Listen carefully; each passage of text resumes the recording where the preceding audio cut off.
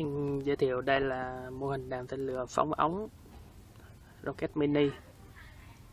Trước khi ờ, đưa nó vào ống thì ờ, nó sẽ phóng ngoài. Phóng ngoài tức là phóng bệ. Đây bệ phóng của nó này. Nó được phóng trong ống phi 27. Nhưng phóng ngoài trước. Phép thử